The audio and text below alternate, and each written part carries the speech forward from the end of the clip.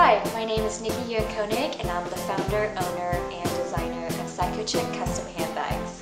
And I'm so excited to be celebrating our 10 year anniversary as a returning presenting designer at this year's 5th annual Fashion for a Passion. For our t-shirt challenge, I'm going to be giving you guys a behind the scenes look of the making of this ATG t-shirt into an exclusive Cykochik custom handbag.